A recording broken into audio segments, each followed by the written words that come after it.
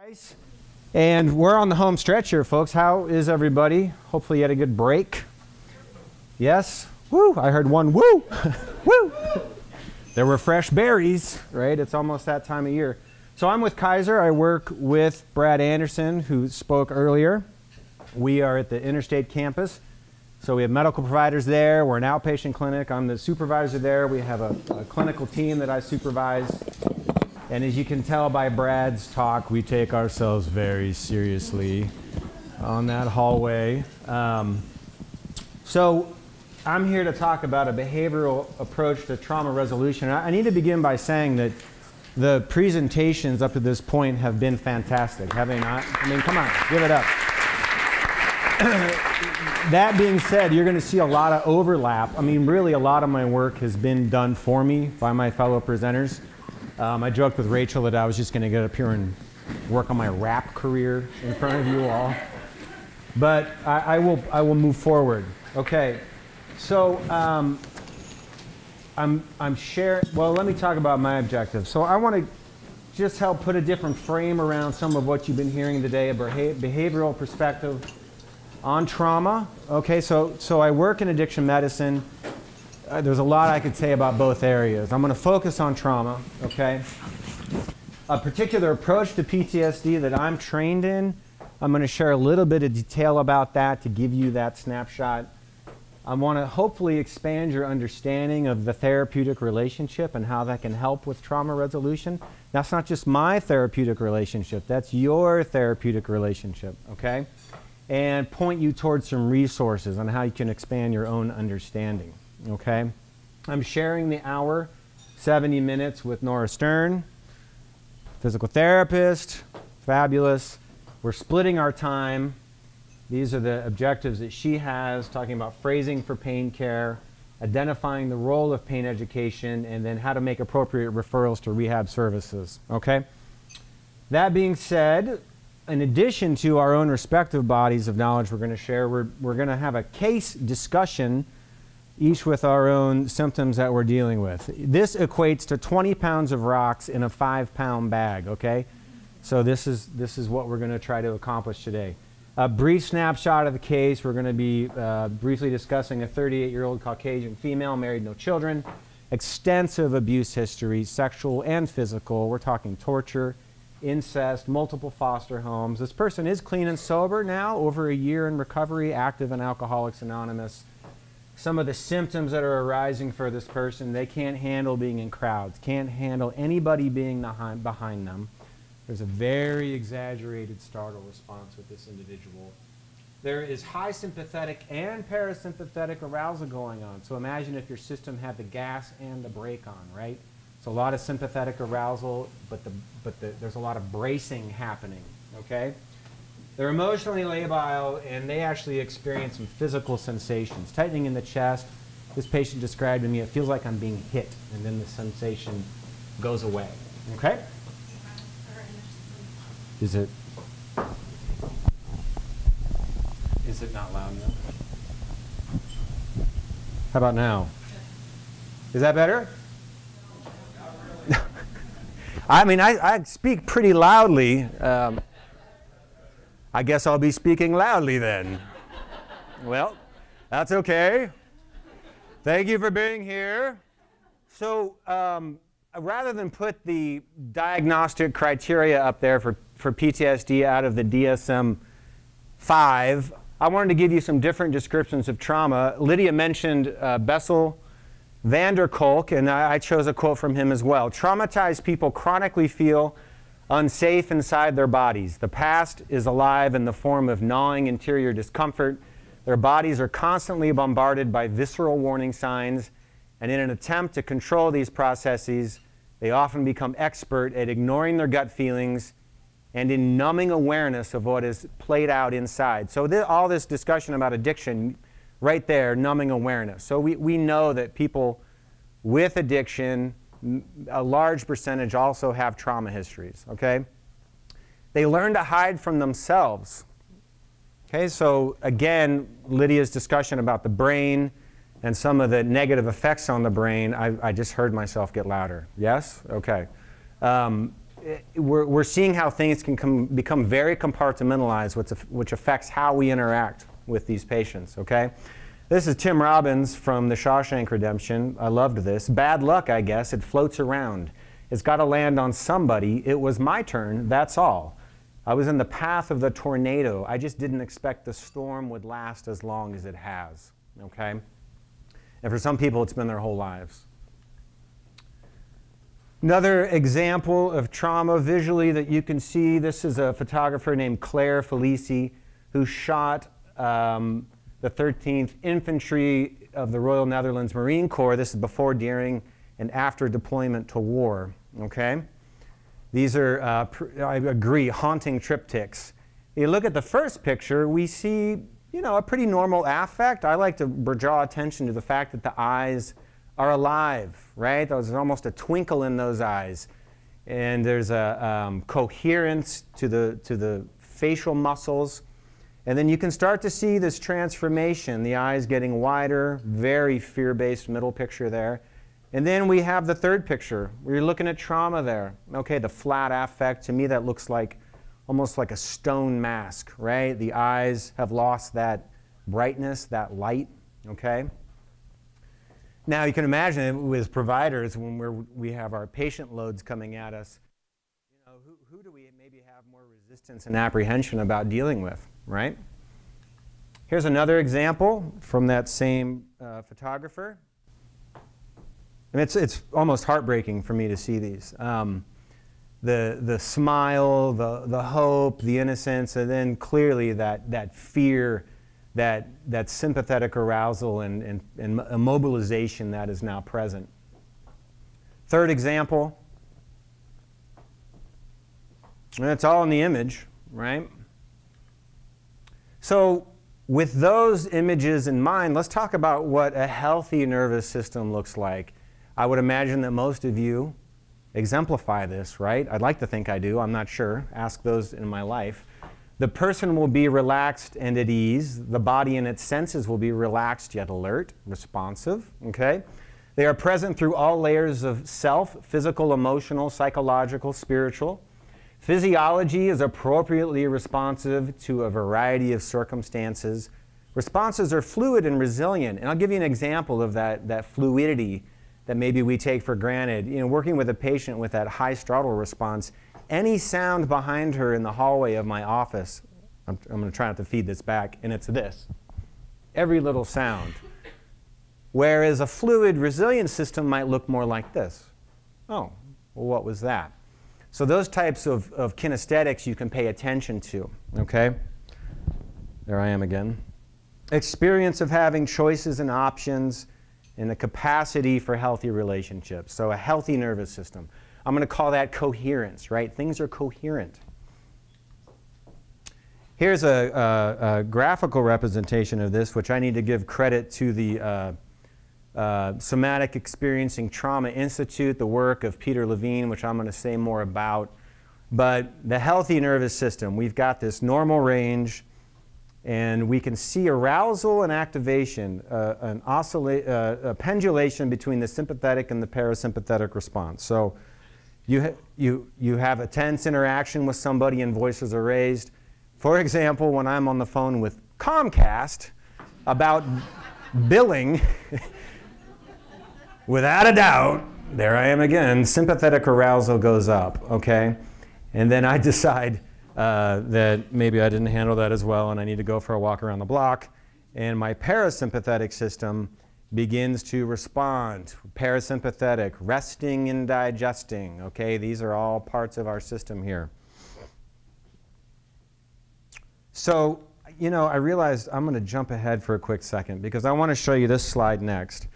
So, this is that same graphic, but um, showing a traumatic event and shock that has come into the system, okay?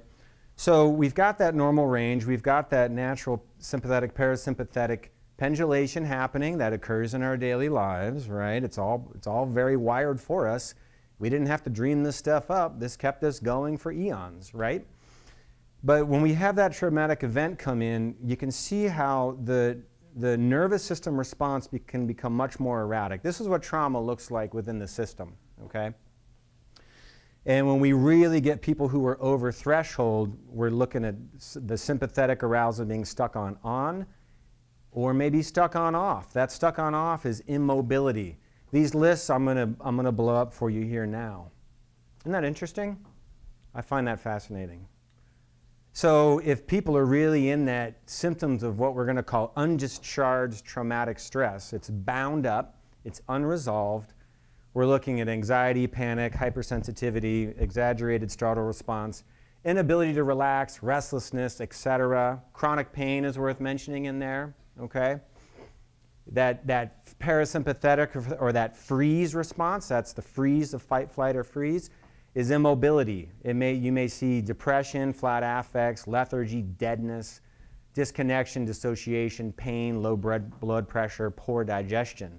Okay? I'm going to go back here now. Because I, now that we've sort of framed this nervous system and what it can look like, I want to bring some attention to a specific modality. And this is um, somatic experiencing. How many people have heard of somatic experiencing or somatic approaches to trauma? A lot of hands. That's, that's encouraging. That's great. Lydia touched on this, how, how as the trauma field is moving forward, this idea that the body really needs to be taken into consideration, this mind body connection is so important. Okay? So Peter Levine uh, really began to look, and, and a lot of his ideas stemmed from observing animal survival systems. And if you look at survival systems in humans and animals, they're virtually identical, but the difference is that animals don't have PTSD. Okay? We do, and this is for a variety of reasons. Again, Lydia touched on this with, with the brain observations. We also have these things called egos, right? We have this consciousness, so we can have judgments and this uh, belief that one is immoral or a bad person. I can assure you that the possum, after they play dead, and then gets up and shakes it off, isn't thinking, oh, I'm a bad possum. I'm a bad possum. I didn't deal with that well, right? We get gummed up in that. And, and, and, and if, if people have been exposed to extensive uh, trauma and those belief systems are in place or there's a lack of support, you're going to see where this energy, I'm going to call it energy, right? The mobilization energy that's required in these responses is massive, right? So the baseball's coming at you. You don't think, the baseball's coming, I'm going to move, like you move, and then you process it cognitively, right? And there's a lot of energy that gets that that is mobilized to get you out of that path, right? So animals have this amazing ability to spontaneously discharge these energies, right? They may shake it off, but and then they just sort of go about their day. The fish that's swimming sees a big barracuda fish and it stops. Barracuda passes and the fish just kind of keeps on going, right? So prey animals are rarely traumatized. So then Peter goes on to say trauma happens when the organism is strained beyond its adaptational capacity to regulate states of arousal, dysregulation. Okay? So moving forward in this approach, for example, somatic experiencing facilitates the completion of these self-protective motor responses, which means we got to work with the body. We got to work with sensation. There was a great question earlier about mindfulness and maybe meditation around people who have trauma. And it's really good to be cautious. I've worked with patients who have years of meditation experience who take a break from meditation because they're finally working with their trauma. Because introducing sensation around traumatic events really needs to be titrated. Okay, so that's, that's a theme that's run through this day, whether it be medications or how we work with people. And that is so important. So there's a real mindfulness component to this there's a tracking component, and it's getting people to just start to experience what a sensation feels like in the body. Okay? This approach and many somatic approaches are not driven by content. By content, what I mean is uh, you sit down with a therapist, and the therapist says, Okay, tell me everything. Tell me the whole gory story, right? More often than not, my bias is that people are triggered and re traumatized by this, okay? It's falling away this approach and a lot of therapists think this is how you this is how you work with trauma you know we're just going to have you tell the story over and over again and i've worked with many patients in addiction medicine who say as soon as i got out of those sessions i wanted to go shoot up i wanted to go drink okay so we're not just focusing on content. We're, we're focusing on the whole body, the whole experience. And it needs to be slow and supported. Okay? I could spend a whole day talking about this, so I'm giving you a really quick snapshot. Um, so these different systems shifting into how some of this can apply to you and, in your work, we're looking at, we've heard a lot about fight and flight and freeze, and then we really need to talk about social engagement, which is part of the parasympathetic nervous system, okay? It's calming usually. So you fall overboard, you call for help. Help, help. That's social engagement. The child that looks to the parent for comfort, okay? Now, Stephen Porges, anybody heard of Porges? I think he might have been mentioned earlier. This idea of a polyvagal theory really separates these out, these different compartments of our nervous system, okay?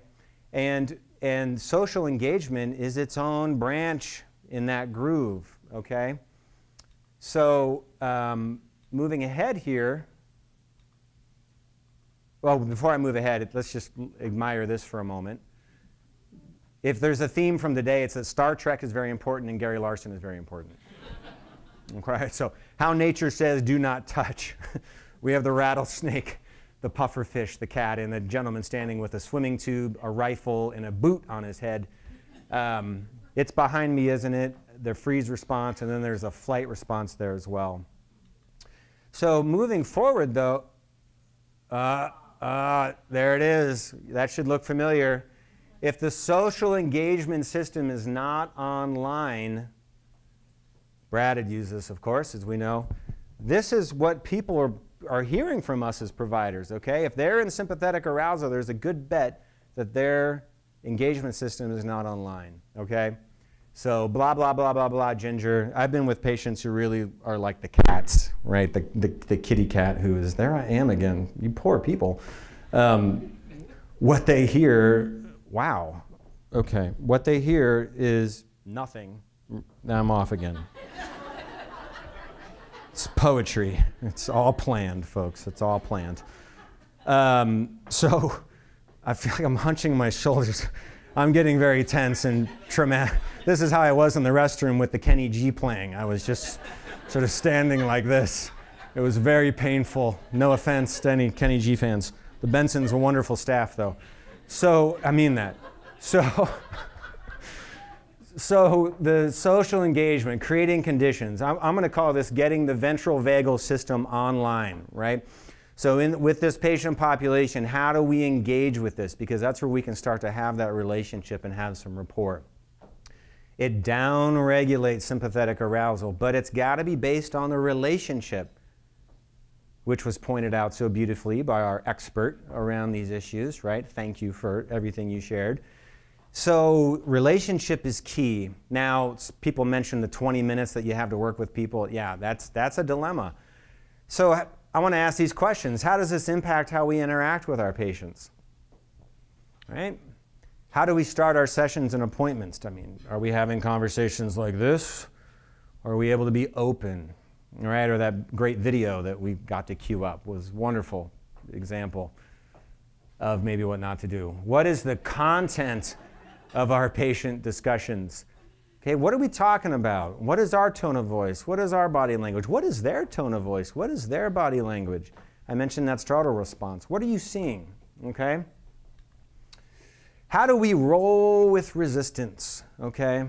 That's a very important thing. Motivational interviewing, we've heard of that. And then I, I really want to put some emphasis on this question what are their interests? Because that's relationship building. You know, we can get so used to focusing on the problem and fixing the problem. You know, beginning therapists are notorious for this. I got to fix the problem, I got to do something. Well, no, we need to form a relationship, right? And that's based around interests and ideas. And here's the thing when it, when it comes to getting the social engagement system online and working with the body, that's part of resourcing and trauma work. And this is where you all can contribute to that okay? Because if things are starting to get really escalated in the session and you know that somebody really loves riding their bike or they really love music, just divert into that content. I do it all the time. Okay, have you been listening to the Moody Blues lately? I know you love the Moody Blues. Oh, yes, I love the Moody Blues, and they brighten. Their nervous system is making a shift there. So it's not just idle chit chat, Okay, this is, this is important content. So the more you know, the better you have uh, to have a tool at your disposal. Okay? Does that make sense? I know time can be a, an issue, but I, I, mean, I worked with a, a, young man who was a child soldier in Africa. I mean, he killed people as a child. And um, we were in a session once, and, and there was homicidal ideation and suicidal ideation, and I knew he, he loved singing. And you know what? That's what we talked about for about 20 minutes. Have you been to karaoke? How's that going? Any new musicians that you're enjoying? And you know, I was able to really kind of close that up, do my due diligence around self harm or harm to others, and that session ended, and he was in a better place. I wasn't doing therapy, but I had a lot of intention around that conversation, okay? What is, I'd mentioned that body language. What are the surroundings of the space where you're meeting with people? Okay, because they're hypervigilant. They might be looking around. You know, I know people can be time constrained, but a question around chronic pain. I have a friend who does private practice with chronic pain people, gets a lot of referrals from docs, does trauma work. What was going on in your life when the pain started? You know, what was happening? And that can give you a little more insight. That could open the floodgates, okay? So I'm sure many of you do this great, but how do we, you know, when things just keep going and they want to say more and more and more and more and more? I think this is important. Validate, but, and kind of get the session back in the groove. Many patients report that they don't feel like their docs believe them. Okay? It's, it's worth knowing. And then the last piece here is I want to say it's okay to slow down. Slow things down. Brad mentioned this. You know, maybe it takes 10 appointments to get where we need to go, okay? And, and I tell my clinicians this all the time with complex cases. Just slow it down. Have them come back and see you. All right? A brief mention of syndromes that could indicate some sympathetic and parasympathetic mediated dynamics, trauma. Things like migraines, fibromyalgia, autoimmune disorders, pain syndromes, IBS, chronic fatigue. Some of this has been talked about already. But we really want to rule this out and, and really makes the case for the theme that's been throughout this day is integrated care, right? And we're all in this together, right? Which is why a day like this can be so important in hearing these different disciplines and how we approach these folks. I need to mention some other modalities here. Um, exposure therapy. Does anybody remember this Far Side cartoon? Professor Gallagher and his controversial technique of simultaneously confronting the fear of height snakes in the dark. Good stuff. There's a padlock on the outside of the door, and I love the flat affect of the professor. Hmm, what's going on down there? So, um, we want to have a gradual exposure to stimulus if we're going this route. Imaginal exposure therapy is where you have people tell their story, story, and over again. Not a fan. We can talk about it afterwards if you don't agree, but I need to mention it. EMDR, I'm sure many of us have heard, heard of EMDR. It's an extensive approach, and you can read about it on your own. Eye movement desensitization and reprocessing, working with the different hemispheres of the brain, as well as content in the session. There's CBT that's been mentioned many times today with a trauma focus. Thought patterns that are negative and working on beliefs in that regard. Dialectical behavioral therapy, have people heard of DBT? Okay, so this is a, a really great tool for people with trauma. There's four branches, distress tolerance, emotional regulation, mindfulness, and interpersonal effectiveness. So think about that social engagement piece. People learning how to develop those skills to be in a relationship, okay? Couple links, a uh, handful of links for your information if you want to read more about some of this on your own. There's Psychology Today. This is a great way, great way to find a local therapist. Okay, you can search by region and also the uh, uh, techniques and the issues that they treat. Highly recommend Psychology Today. TraumaHealing.org can help you find a somatic experiencing therapist. Also, you can go there and explore the data in the, that website. EMDRIA.org, EMDR, and then findcbt.org. And these are, th all these, of course, are in the slide deck that's available to you uh, regarding this presentation. And then, of course, there's the ACE study that was mentioned, cdc.gov, violence prevention a study. Some really great information on there as well. Some book recommendations. I like Peter Levine's book, In an Unspoken Voice How the Body Releases Trauma and Restores Goodness. uh, Bessel van der Kolk's book, The Body Keeps the Score Brain, Mind, and Body in the Healing of Trauma. And then The Body Bears the Burden. All somatic based books. Okay? There's a ton out there. These are good starting points. How are we doing on time? We good? Great. We're going to shift gears now to Nora Stern. Thank you. I'll be back up. We're going to discuss the case together. Okay?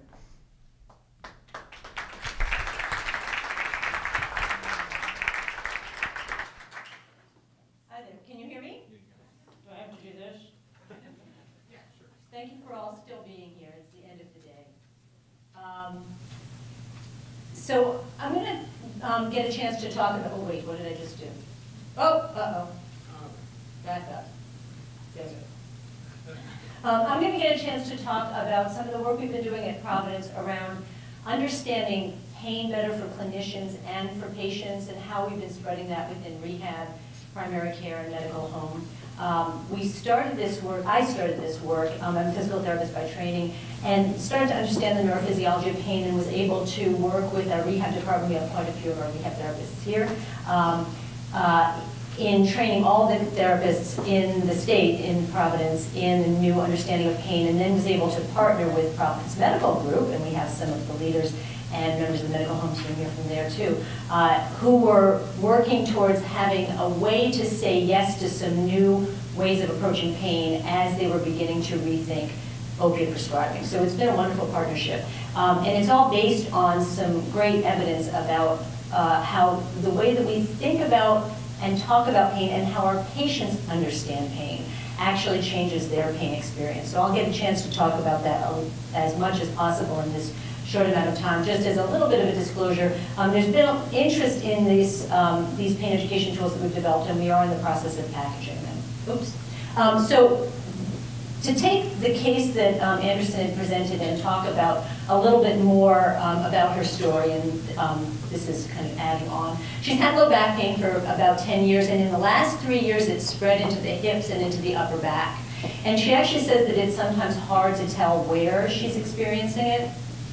She also has headaches, neck, and shoulder pain. And in fact, her entire body diagram is black, in rehab. we use body diagram. So if it's, if if it's all black, that's a clue, central sensitization. Um, and in the second session, you learn that she also has chronic pelvic pain. She didn't divulge that at first. We know that she's not working, and we also know that she also says that she feels like she needs to do more around the house. She tries to, she ends up um, in bed watching TV because she's so painful, so a real boom or bust kind of cycle. And she's afraid of making her pain worse, so she does as little as possible. And her x-rays are multiple and show moderate degeneration to the spine. So I'll try to refer back to this person to kind of give a real person to the, um, the story. So focusing in on her pelvic pain, this, the theme of this um, conference is about trauma, and she has had a, an extensive trauma history. And, and by way of talking about how context and meaning change the pain experience, I'd like to compare the kind, the tissue damage that might be associated with vaginal childbirth delivery as opposed to sexual violence. In both cases, you're probably going to have a fairly significant amount of tissue damage. In the case of childbirth, a, a woman is usually anticipating the the whole event, the end, the result of the event, with most of the time with great joy. They, they're expecting the pain, they know it's going to happen, there's logic to it, and they know there's going to be an end and there's going to be a result that they're looking forward to. And in the months that follow, if there's nociceptive input coming from healing tissues, it gets up to the brain, and the brain processes it, makes sense of it, and says, how threatening is this really? It's actually not that threatening. I've got something much more important I'm focusing on. Tragically, in the case of sexual violence, it's of course not wanted at all. It's incredibly traumatic. The person's life is turned upside down.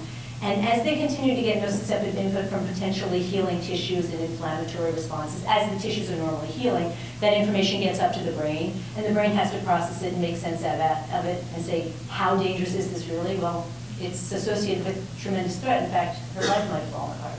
So the threat value in the second context is going to be much greater. And you can start to see how it would make sense that there's this tremendous statistical significance between sexual violence and chronic pelvic pain, whereas there isn't with vaginal childbirth delivery. So this is a wonderful model that really started a lot of this understanding of pain in a new way, which is from Louis Gifford, who's a British um, physiotherapist who died uh, about a year ago. And it, it's very elegant. It basically says that the input from the tissue is going to be one piece of the puzzle. In the case of trauma and childbirth, it may be roughly the same amount of tissue input, but the, whoa, it's very sensitive. But, but the processing is where things are going to change. And that's not to say, I don't, I would like to emphasize that central sensitization is not only an emotional experience. There are other pieces to this puzzle, right? There's changes in the sensory cortex, for example, in the way that you, if you brace and guard and use your body um, in a way that um, limits the ability to have healthy movement, your sensory cortex will actually remodel as well, and you'll have less of a good representation to that. And um, I can't go into tremendous detail right now, but I, I, want I don't want people to leave here thinking that chronic pain is always an emotional, it is all emotional, right? There's a lot of pieces to the way that the brain continues to produce more threat. But all the, there's as many as 400 parts of the brain that might weigh in and determine how significant that information is. David Butler talks about it being like an orchestra. So there may be input from the inner ear that's associated with every time I bend forward, I have back pain. So eventually, even sloshing the inner ear can begin to activate that pain neuromatrix and fire the pain response, as one example. And I'll talk about that a little bit more when I get into return to activity. So this is a helpful um, way to talk about pain with your patients, actually, too. That idea that um, because I think it helps put the input part into context. So how we think about pain has a huge impact on the pain that we experience and how, how we, what we say matters in what patients understand. So talking about pain changes beliefs. Changing beliefs changes the threat value. And changing the threat value can change the pain experience. So I think that um, it's not enough for us to just kind of keep it in our heads that we think that pain is biopsychosocial, but actually to get used to spitting out of our mouths some ways of talking about pain differently than maybe we have in the past. And I'll give you some examples of that. So this shift in thinking that we've been talking about, this is some work from David Butler and Lorimer Moseley, who wrote the tremendously wonderful book, Explain Pain. And uh, teach courses and seminars and have fabulous YouTube videos, and I worship them.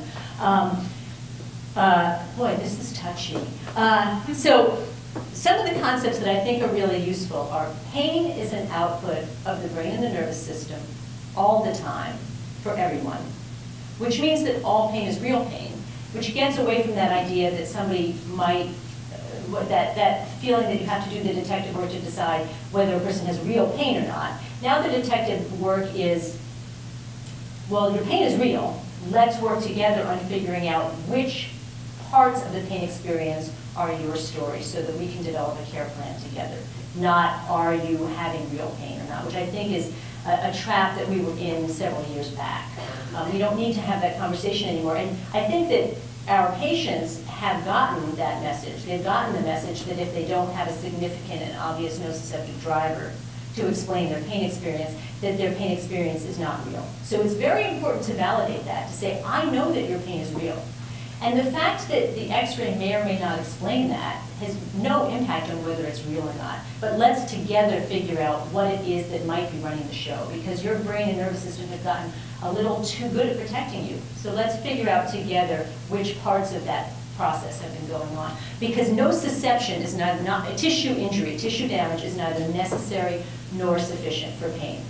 And if there's one theme I want to leave you with, it's that pain and harm are not the same thing. This is a very important um, and elegant way to convey this idea of central sensitization to the people that you work with, to your patients. You can have pain without harm or tissue damage, and you can have tissue damage without pain. So, making sure you're awake, wake up your brains. God, it, it wants to take a nap, I'm putting it down. Um, so think for a moment about a circumstance where you could have pain without tissue damage that you might have experienced or you know of in your patients. What can you think of? Pain without tissue damage. Migraine. A migraine, right? A headache in general, yeah. you're having, you have something going on neurophysiologically, but it's not tissue damage. Yeah, what else? Fibromyalgia is a great one. Pain all over the body. But they didn't actually have tissue damage, injury all over the body. And that's a, that's a great one for people to understand. What, there was another one? I said grief. Grief, felt physically. I don't know. I mean, You can't separate them, right? people say, I mean, it hurts. Yeah, right, right. And pain and suffering are actually linked in the International Association for the Study of Pain for that reason. And then the poster child for this, pain is not equivalent to harm, is the one that Thomas had mentioned, phantom limb pain, where you actually no longer have tissue there.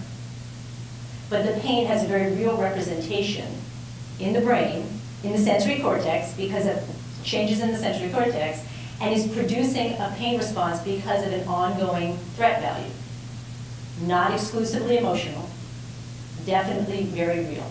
And then you can have harm without pain, like the battlefield injuries that you hear about where people do incredibly heroic things, and they're probably truly heroic, but they also are responding to a threat value around them, their survival, their survival of their bodies, that is much greater even than the traumatic injury that they experienced.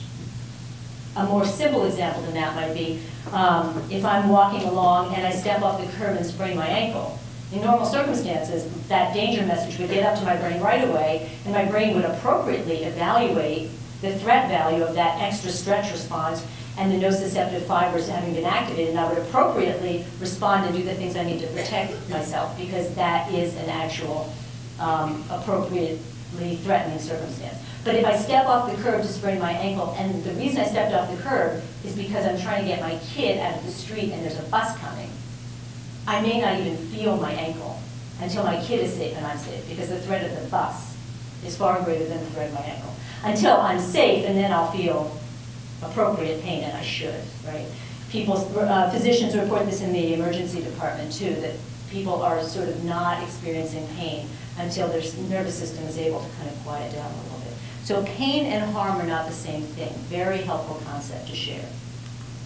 So how are we maybe inadvertently creating a sense of danger in our patients, or our patients are creating a sense of danger that we may not even be aware of, that we might be able to make some modifications in?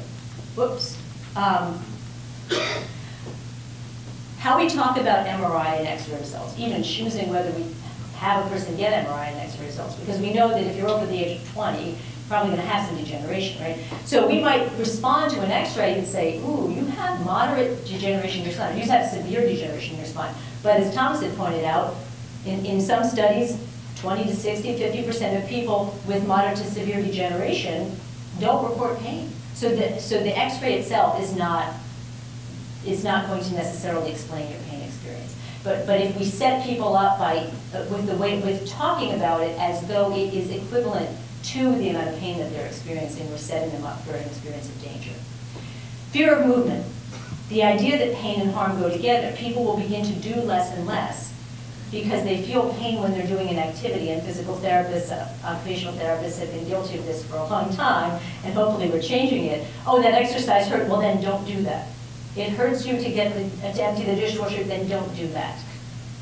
And I'm not saying you should just tell your patients to go out and do everything that hurts. I'll talk in a moment about how to slowly reintroduce activity and kind of fly below the radar of the protect by pain response. But being able to reframe the message, and the way that we respond to that fear is important. What happens also here is that, um, I swear to God, you see I'm not touching it, right? Stay. Um, the other thing that's happening with this person is that their sensory cortex has become very disorganized. It's become what we call smudged and blurred. And this person, remember our patient, has pain that's begun to spread. It's vaguely located. It's hard to tell exactly where it is, and that's a classic sign of what we call sensory cortical smudging, or disorganization of the sensory cortex. Now you can go. Um, just the struggles that people have in living with pain. As Anderson was just talking about, has come up again and again.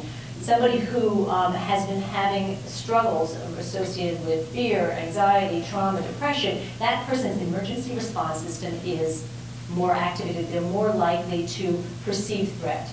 And being able to simply validate that can begin to help decrease the threat and sense of danger.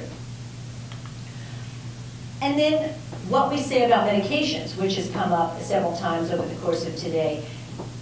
If the message, if the patient believes medication is the only thing that can help me, and then you're having a conversation about tapers, recognize that that could be an incredibly threatening conversation to have, as has been brought up. That alone could be producing more danger. So now the brain is very interested in the threat value of anything coming up the pike from nociceptive, from nociceptive input. So how we talk about pain really can change how people experience it. I'm going to show you, and um, this is probably not the best resolution, but um, yeah, you're not seeing the image too well, but this is a fMRI study that was done by Lorimer Moseley, great researcher on pain neuroscience. And um, this woman is in a physical therapy clinic with an fMRI, because we all have those in our clinics, right? Um, and she's doing an abdominal stabilizing exercise. So she's not moving her back. But what, you can't, what isn't resolving too well is that there's quite a bit of red, quite a bit of activity in what we would call the pain neuromatrix. So her brain, even though she's not moving her back, her brain is pretty interested in the threat value of what's going on. She's probably experiencing pain. That same day, she goes through a pain education class. So no tissue healing happened. It's just a couple of hours, right? Then she goes back in the fMRI and she does the same abdominal stabilizing exercise. And I don't know if you'll be able to appreciate this, but there's a quieting of, so that the, the, that brain is much more quiet. So what you're seeing here is the quieting of central sensitization, the decrease in threat value, or really the difference between pain and harm right? She's not, it's not like she's cured of persistent pain, but her brain now has a, a, different experience to associate with the meaning of input coming from the periphery. Oh, I'm feeling some discomfort. I'm sore, but I'm safe.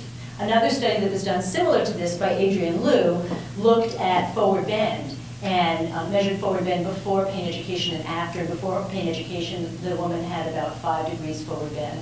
Afterwards, touched the floor. So the difference there wasn't that she couldn't touch the floor beforehand, but if I narrate her brain, it might go something like, oh, I can't do that, I have pain. So all those different neural functions associated with bending over, inner ear sloshing, visual input, paraspinal muscle stretching, weight shifting over her feet, etc., become coupled with, enslaved in producing the pain response. The second time, she gets to five degrees and says, oh, that's just pain. I'm sore, but I'm safe. That's the beginning of resilience. Okay. Um, see, I didn't touch it. It's just fatigued. and it's asleep. It's, yeah, okay. Um, well, now I'll be talking about this. Uh, so, talking about some ideas about phrasing, the difference between creating danger and creating safety.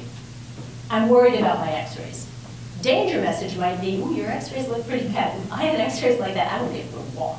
Um, safety message might be something like, you know, half of the people who have joint degeneration actually have no pain. I can't do blank, it's too painful. Well, then you'd better avoid doing that then. Or safety message, you know, your system has gotten a little too good at protecting you, but that doesn't actually mean that it's causing you harm. And I'm going to talk a little bit further about return to activity in a moment. medication is the only thing that, that can help me. I have to stop your medication, there's nothing else I can do, could be something that provokes more of a sense of danger. Or we now understand pain a bit differently. It turns out there's a lot we can do to produce, uh, that the brain does to produce pain, and there's a lot of opportunity for us to create change. That's been talked about in several ways. So how can we create more safety and hope? Understanding pain, changing the, the, the context for looking at return to activity, how we respond to an x-ray or a test or the request for that. And then thinking about prioritizing somebody actually getting back to some of the things in their life that give them pleasure and joy, rather than putting that off until they are not having any pain, which is very common. So to talk a little bit about what we've been doing in rehab, and I'd like to say that I, we've been kind of approaching this, all of this pain work in Providence and trying to do kind of a decentralized integrated pain care between the work of primary, primary care medical home within um, uh, the primary care physician's work and behavioral health, and then the work in rehab. We focused on pain education, especially with classes, videos, and written material, and how we talk about pain. Um, We work with physiological quieting, and we have um, the- our mindfulness videos ava- available for home use, and then pacing and graded exposure. So I'll just talk about each of those a little bit. Um, We've tried to make our pain education very easily accessible to everybody. They can be referred into pain education or watch the videos in the patient rooms. They can watch our videos in, in rehab and in primary care. They can be referred into our classes from rehab, primary care, from behavioral health, et cetera. They can be referred from the emergency department. Um, And these two kind of complement each other. So it's been, it- it's been very helpful for helping clinicians start the conversation, but not feel like they have to have a PhD in neuroscience. It's kind of like, let's start to begin to change the phrasing a little bit, and it might go something like, um, you know, I, I can appreciate that this has been a really long process for you. I want you to know that I know your pain is real. I don't completely understand all the different pieces of the puzzle. Your pain is quite complex because everyone's pain is complex, and you've been living with this for a long time. So what I'd like to ask you to do is go to this class, and I need for you to come back and tell me what parts of it sound like your story. Because those are the part, then we can build a plan of care together. So that's asking for their alliance, telling them that you need to get their engagement um, and and investment, but also that you don't really understand all of their complexity. Um, We do some basic physiological quieting um, in rehab, and I'll talk a minute about when that's good to do and when that's not good to do. Um, And then I want to talk just a moment about a return to activity idea. And this comes from um, Moseley and Butler's work. So if this gal says, um, you know, she's sitting on the sofa a lot, um, not able, feeling like she can do very much, but she would really like to get back to taking her dog for a walk. So I might have a conversation with her, because we want to be able to, by the way, if we think back to the functional MRI, something that I didn't, wasn't, um, didn't point out, was that one aspect of her fMRI that did not change was the sensory cortex. Because she needs to experience her body differently. She needs to move, she needs to live in her body in a different way. So we have to get her moving. So, back a long time ago, when things weren't quite so hard, she might have been able to do a tremendous amount of things before she had a protect by pain response and before she had tissue damage. So the protect by pain response would be a warning sign to not keep going or she'd have tissue damage.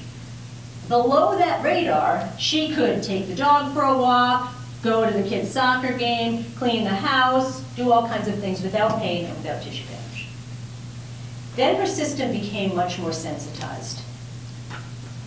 In a sensitized system, she's been deconditioned for a long time, so she doesn't have the same level of tissue resilience that she did, but it's still pretty high. Let's say it's up maybe here. So we're going to say this is the new level at which she might have tissue damage. But the protect by pain response level is very low, right? Anything she does produces pain. So what's helpful to, to recognize is, Casey, we'll call her, when you do all those things, it's causing you a lot of pain. But realize it's actually still not causing you any tissue damage. It's not causing you harm. So that's helpful to know. But I don't want you to be doing all the things that cause you lots of pain because that's going to continue to activate an already sensitized system. So what we want to do is fly below the radar of the protect by pain response level so that we can slowly get your system more resilient. So that might be something like, can you walk for five minutes? Can't do that. Can you walk to mailbox? Can't do that. Can you get up once an hour and walk to the other end of the room and back?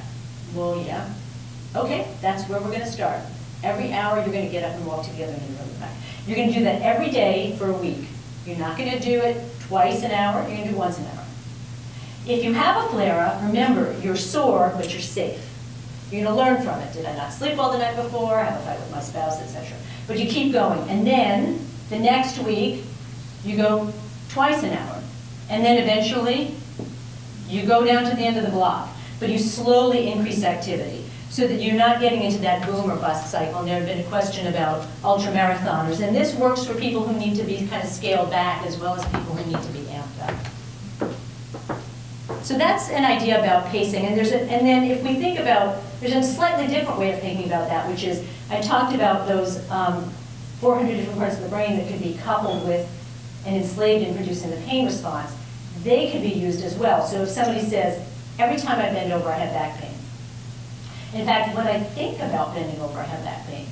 In fact, I always have back pain when I bend over at work, and when I'm at work, I always have back pain. So all those different functions, thinking about work, inner ear sloshing, premotor cortex, planning on bending forward, all of those things have become coupled with the pain response. So those functions can become decoupled from the pain response and coupled with more pleasurable activities like sitting in a chair and nodding your head up and down while you watch your grandkid play with a ball, or let, lying on your back and letting your knees drop side to side while you breathe easily and gently. So an ideal rehab experience of someone with a trauma history might be about especially decreasing threat, less on information and more on experience, including pacing a very non-threatening activity. Might include physiological quieting, and it would include communication with behavioral health and primary care. And I think also considering the timing of when you might use behavioral health and when you might use rehab. So for example, in some cases, and I think we need, we've been talking about having a good, elegant way of knowing what the workflow is for when somebody goes to rehab versus primary care first. We've been using the patient activation measure for motivation, but that doesn't get to some of these other aspects of trauma. So in a person who's less complex, we would go ahead and do physiological quieting. With somebody more complex, that's probably where we're starting to feel like we need some primary, some uh, behavioral health support. Um, so considering motivation is helpful. Having the same language for talking about pain is really important, I think. Um, getting the same, aligning the messages. Um, and then I would also say, if you're primary care doc or anybody who is developing a care plan, when you develop a care plan, strongly endorse it, prescribe those things, because you're taking them at least as seriously as you would a medication. And then ask about them when they come back. I asked you to do some relaxation work last time I saw you. How's that been going? And, and then if there's a barrier, work that out together. If you don't ask about it, they're going to assume you didn't think it was that important. So um, I think that that can make a huge difference. Um, so what we're going to do now is um, uh, we're going to review the case again. Anderson and I are both going to talk together, and I'm going to um, we're going to talk about some things about this case. What I'd like to do is we're going to just look through it, and I'm going to ask you to look at it in terms of um, strengths, concerns, and patient goals. So we have this person who has, oh, wait, um, a history of physical and sexual abuse, multiple foster homes, she's in recovery, she has this increased startle response, um, and the other things going with on with sympathetic and, and, parasympathetic tone. She's got back pain with this um, sensory cortical spreading. Uh, she has, uh, and, and the whole body diagram is black. She's not working and she's got this boom or bust cycle, afraid of making her pain worse, and moderate degeneration in her spine.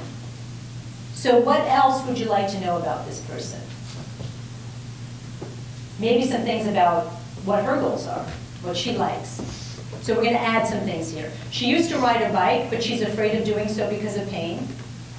She wants to be able to turn, return to walking her dog in the woods. Her spouse is supportive of the work that she's doing. She does have pain with sex and she avoids sex, and she has a close group of friends and a supportive recovery community. So I'm going to just come over here and um, remind you that we're talking about, so what are some of her strengths that you heard about? Just shout them out. Sober, Huh? sober for a year. Sober? Mm-hmm. Support? Spouse. Uh-huh. Spouse? She wants to walk. She wants to walk her dog? She has a history of being active. Uh-huh. What about um, concerns?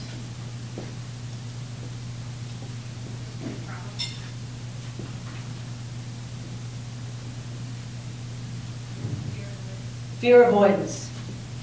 History of trauma. I know you can't read my writing. She might be afraid of her degeneration. She doesn't know that it's, that this is time. Maybe beliefs? Mhm. What about her goals? She wants to increase her activity. and she's kind of specific about it too. Act- And, and it's with her dog, which is kind of cool, because then there's that sort of positive reinforcement with the dog, yeah. Probably wants to stay sober. She's motivated about that, it sounds like. Yay! She, she wants to take care of her life, right? Okay, great. So um, what I, we thought we would do is that we would each sort of tag team and bounce off of each other, and feel free to chime in, um, and talk about how, things that we might focus on with this person, based on this profile. And, and I lay this out because this is kind of like the multidisciplinary, the case reviews that we've been doing um, with Providence Medical Group and that we do in rehab, um, is to kind of lay things out a little bit like this, not, not exactly this, but I'm going to go ahead and hand it over to you now, Anderson. There I am. Can you hear me now? Can you hear me now?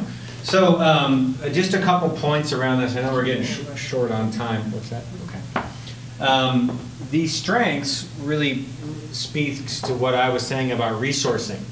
This is a way to help somebody resource. So here, with this case, I'll give you an example of what I mean by that. When the, this patient came to see me, very weary, very mistrusting. I worked on a rela- therapeutic relationship with this person for a month, okay? She even told me, I don't like the sound of your voice. She actually told me that. So, um, so I spent a lot of time talking about her interests and getting her oriented at the beginning of the session. Usually the first 10 or 15 minutes were spent, how are you? Have you been getting outside at all? Have you been spending time with your partner? And then from a somatic perspective, as we're discussing this content and this resiliency, she was tracking those sensations, okay? So we don't start with all the heavy stuff. It's about, oh, I want you to just feel that goodness. I want you to feel that pleasure. I want you to stay with that. That coupled with making sure that she was oriented to the environment. That's where we began, okay? And we did that for a long time. And the trauma and all the intensity would arise on its own, okay? But what that resourcing allows me to do with this patient is, is it's almost like putting gas in her nervous system. She's got a full, she, her tank is more full, so that when these protective traumatic responses come up, we've laid some groundwork there. And you can start to get into that regulatory pattern, okay? You wanna jump Um. And um, and uh, what that makes me think of too is that that approach is, is actually creating a sense of safety also around your pain experiences. And I would, I would make, make that transparent in a way that isn't too kind of overwhelming, but to point out that she's actually quieting her nervous system as she's doing, talking about the things that make her feel better and doing the things that make her feel better. And that decreases the brain's interest in producing the pain experience and might use that as an inroad for starting to do some physiological quieting work. And then, um, so I'd be interested in um, giving a lot of positive reinforcement for what she's got and using her goal around walking the dog to slowly reintroduce pacing, which I already talked about a little bit. Um, and uh, maybe do some physiological quieting, but I might want to check in with her awesome behavioral health person and see if there's a better time to do that. Um, and then um, using pain education as it comes up so that I'm not over, with some people, we might actually have them go to a pain education class. In her case, given how overwhelmed she is, I probably would need it out a little bit more in the course of helping her get back to activity. And I'm especially interested, another concern I might have is that she has that black body diagram, so she's got what I would call sensory cortical smudging, at least in part. And so I'd be interested in working with both, helping her get back to some activity, so she generally becomes more resilient, and I would also be interested in, in getting her, doing some things that help um, retrain her sensory cortex. So in, so that I might, for example, give her some simple exercise routines that tune into the whole body. Tai Chi-like things, or yoga-type things, or asking her to, to notice the tips of her fingers as she reaches out to the side and feel that her feet on the ground, and feel her rib cage expand. So that you're starting to retrain the sensory cortex um, in a way that helps to refine its representation. You can also do this through body scan um, uh, physiological quieting work, uh, mindfulness work. So those are probably some of the main things that I would focus on. And I'd probably want to keep it very simple, emphasize that she is at the beginning of a process, and that we will consider it successful that we have begun a process, and give lots of positive reinforcement at each step, and see her intermittently, so that I can see her over a long period of time and maybe through a flare-up, but not expect that the goal is for her pain to go away, but to get to a little step of functional improvement. And emphasize the importance of that, and that that is exactly with that pacing idea, that that's how we're going to desensitize your system. And just to, to, to- to- to- just to uh, wrap up where I went with this patient was, after all that resourcing, uh, this was a person who wanted to return to work in a few weeks, but whose startle response was so strong that someone even walking behind her in public would induce panic. And she said to me, I, I, don't know how I'm gonna function in my life. And so I, I knew that's where we were headed, and it wasn't content-driven, but eventually we got to a place where she could somatically start to experience some of the sensations around not feeling safe with her back. And they were intense sessions, I can assure you. There was a lot of uh, panic and anxiety and um, nausea. It was, all- I mean, you know, trauma affects, our body responds to traumatic events. So working with the whole body needs to be there. But, but we, we developed a really good relationship. And just this week, I'm happy to report, um, she uh, has reported a major decrease in symptoms and actually has hope. And it, it's, it's really great to be able to work with people in a way that, that takes into account the whole system. And um, she's been amazing, and it's, it's, it's great to see the progress for this particular individual. Are we good for questions You now? for a few questions? We're open to questions.